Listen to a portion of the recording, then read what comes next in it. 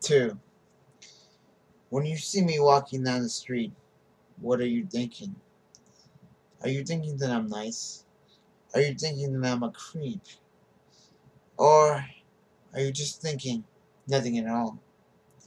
Do you even notice my being? My shoes, my glasses, my shirt, my face? Does any of that ever cross your mind?